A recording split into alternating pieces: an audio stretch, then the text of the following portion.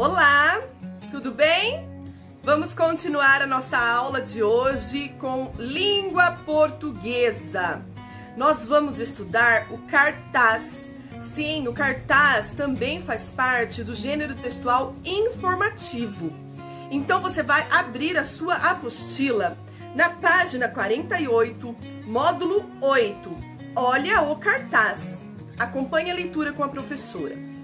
Você já deve ter participado da elaboração de algum cartaz em sua escola.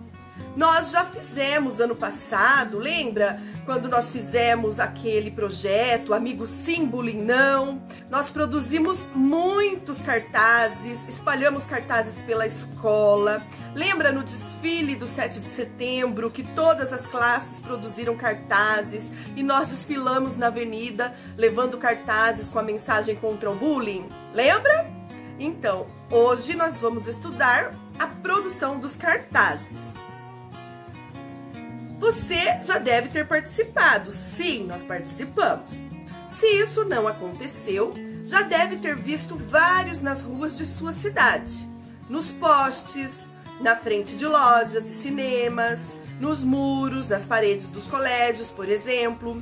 Nós já tivemos essa oportunidade de produzir vários cartazes. Também tem aqueles cartazes que a gente faz na escola a respeito da conscientização sobre a água, lembra? Para não desperdiçar água, para na hora que for ao banheiro dar descarga e, e lavar as mãos, fechar a torneira.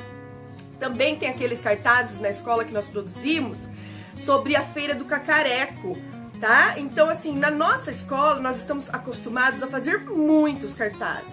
As crianças que não nunca fizeram cartaz, elas também conhecem cartazes, porque elas já viram já espalhados pela cidade.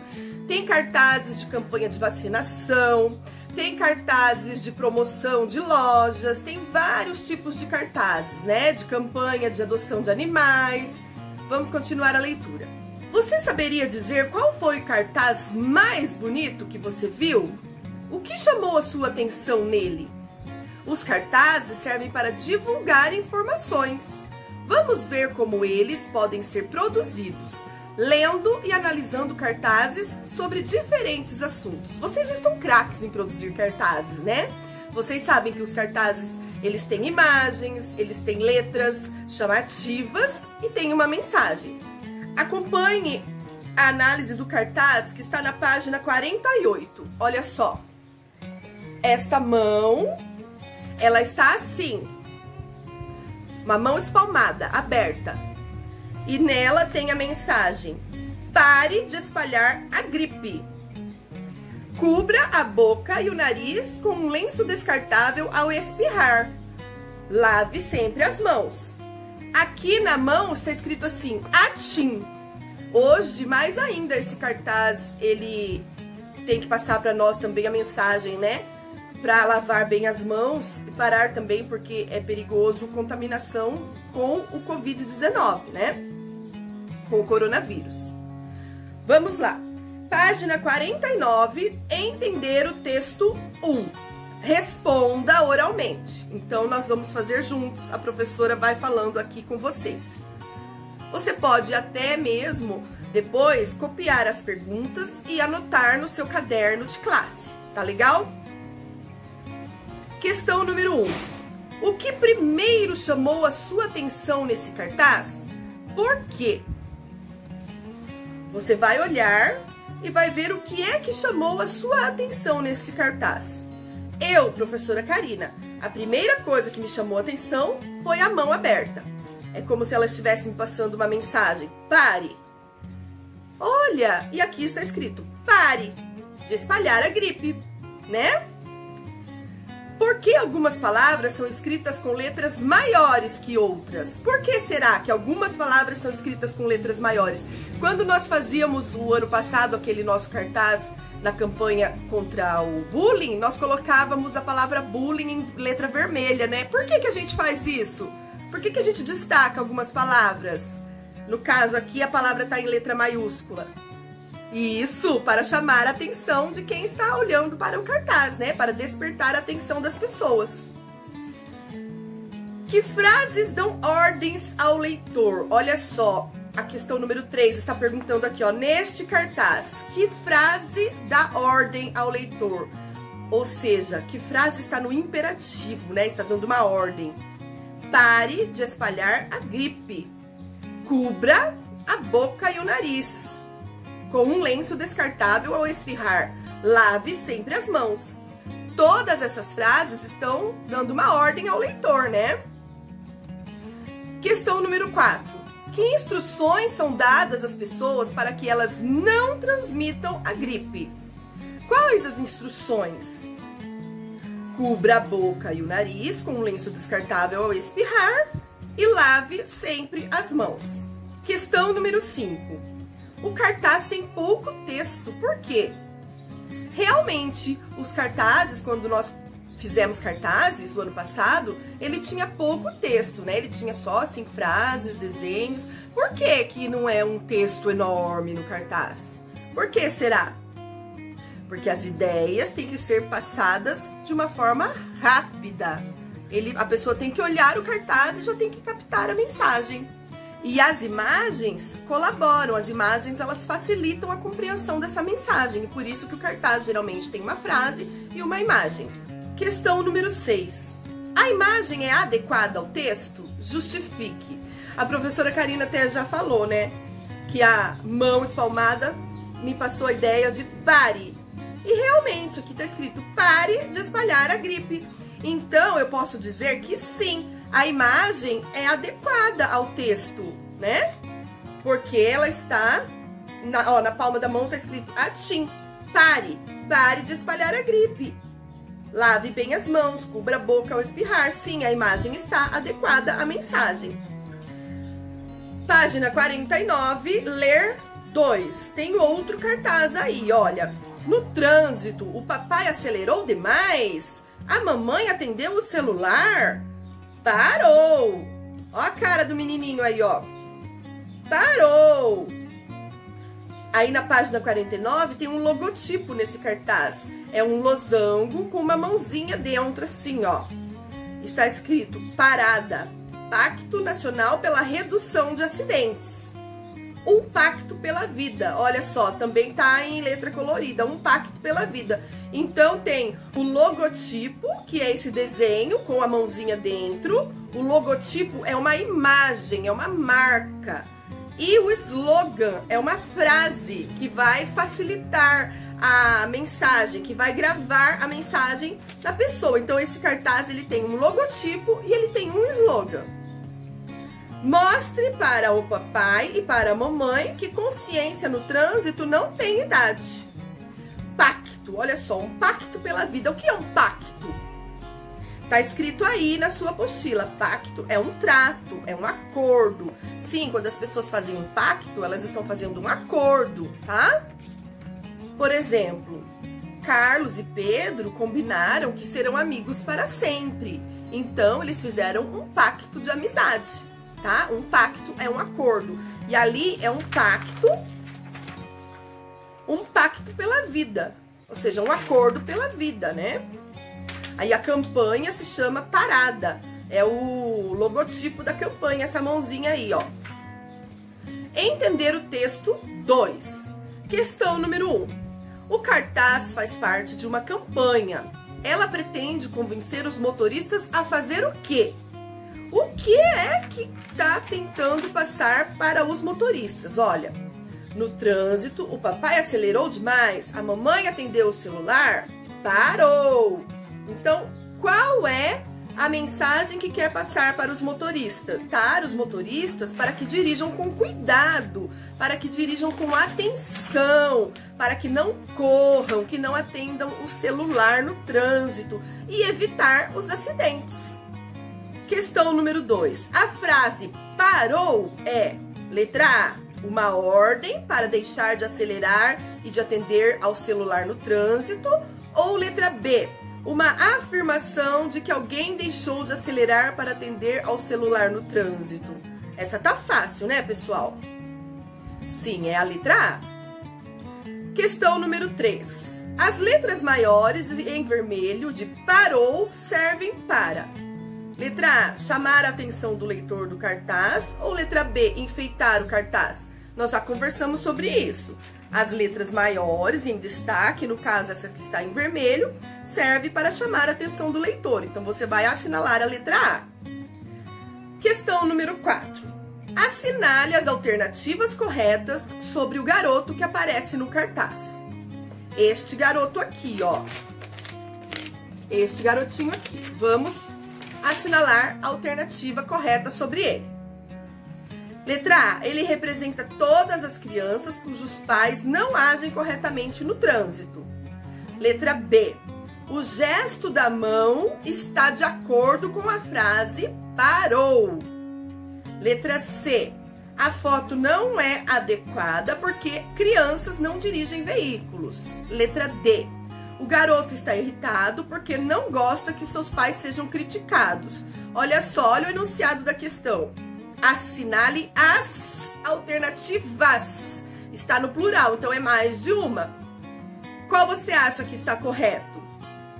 O garoto representa todas as crianças cujos pais não agem corretamente no trânsito? Sim, ele está neste cartaz representando essas crianças. Porque está falando ali, ó, no trânsito, papai e a mamãe acelerou demais, a mamãe atendeu o celular, parou. Então, você pode assinalar a letra A. O garoto representa, sim, todas as crianças cujos pais não agem corretamente no trânsito. Letra B. O gesto da mão está de acordo com a frase parou? Sim, está de acordo. Letra C. A foto não é adequada? Não, não tem nada a ver, tá? E letra D. O garoto está irritado porque não gosta que seus pais sejam criticados? Também não tem nada a ver essa afirmação, tá bom? Questão número 5. Leia o box a seguir. O box, no caso, é essa caixa aí, ó, esse retângulo que está ao lado deste cartaz. Slogan é uma frase curta, fácil de ser lembrada e que resume as características de uma ideia, um produto ou um serviço. Veja o slogan de uma campanha para a economia de água. Água, economizar para não faltar então, olha só, economizar para não faltar é o slogan, porque é uma frase curta, de fácil memorização e que vai resumir a, a ideia da campanha. Depois tem o cartaz: colabore evitando desperdício. Evite manter as torneiras abertas, não use descarga sem necessidade, não utilize o vaso sanitário como lixeira e, em caso de suspeita de vazamento, comunique o setor responsável. Qual a, a, a ideia, o slogan? água, economizar para não faltar. Então esse é o slogan. E ao mesmo tempo tem também ali, ó, um logotipo da Assembleia Legislativa ali embaixo, ó. Então o logotipo é um desenho formado com letras, é uma marca. E o slogan é a frase, tudo bem? Página 51. Olha lá, vamos observar este outro cartaz sobre a doação de roupas. Roupa boa a gente doa e boas ideias a gente espalha. No outro cartaz, roupa boa a gente doa também é um slogan, é uma frase que tem uma mensagem curta e rápida que transmite a ideia da campanha. O slogan do cartaz da página 49 é um pacto pela vida. Essa frase significa um acordo. Aquele outro primeiro cartaz que a gente viu do menininho assim com a mão, né? É um pacto sobre a vida. Essa frase significa um acordo entre todas as pessoas para que cuidem de sua saúde e vivam por longos anos. Ou letra B, entre os motoristas para que parem de correr e atender ao celular no trânsito, evitando acidentes fatais. É um pacto pela vida, é um acordo entre os motoristas para que parem de correr e atender ao celular no trânsito, evitando acidentes fatais. Questão número 6. Este é o logotipo do cartaz. A professora já comentou, logotipo é uma imagem criada para representar uma ideia, uma empresa ou um produto. Por exemplo, Abril Educação. Ele é apropriado? Justifique. Olha, o logotipo do cartaz, ele é apropriado, porque tem o losango com uma mãozinha assim, né? E a campanha é um pacto pela vida, né? Pare. A, campanha chama Parada. Se você olhar lá na página 49, você vai ver que o slogan, né? Um pacto pela vida, ele também está de acordo com o logotipo, que é esse losango e a mãozinha, que vai também reforçar a ideia do nome da campanha, que a campanha chama Parada. E a imagem do garoto com a mão aberta espalmada também está indicando a parada. Então, sim, está apropriado, por causa desses motivos que a professora acabou de falar. Vamos analisar agora o cartaz da página 52. Eco Cartoon, quarto salão internacional, Pátio Brasil de Humor sobre o meio ambiente. Exposição de 1 a 30 de junho no Pátio Brasil Shopping. Tema Conservação da Biodiversidade. Inscrições até 12 do 4.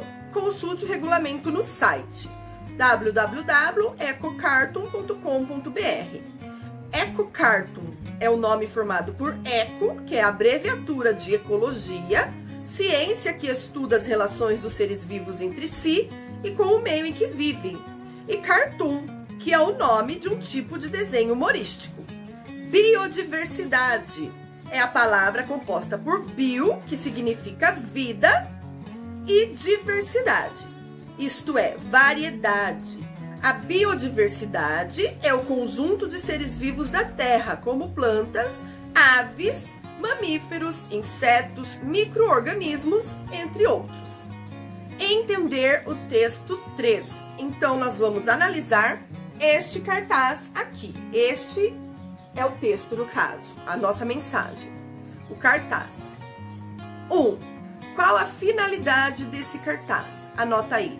A finalidade é informar sobre o acontecimento, né, do quarto Salão Internacional Pátio Brasil de Humor sobre o meio ambiente. Então, a finalidade é informar sobre esse evento aqui, que é uma exposição de desenhos, tá? Número 2. Observe a imagem da mão. O que está acontecendo com o dedo médio? Olha só, ele está sendo cortado. Letra B. O que está desenhado no dedo indicador? Olha no dedo indicador. Um homem com um machado. Letra C. Pode-se dizer que a mão significa o meio ambiente em que o homem vive. De acordo com o cartaz, o ser humano cuida bem desse meio ambiente ou prejudica?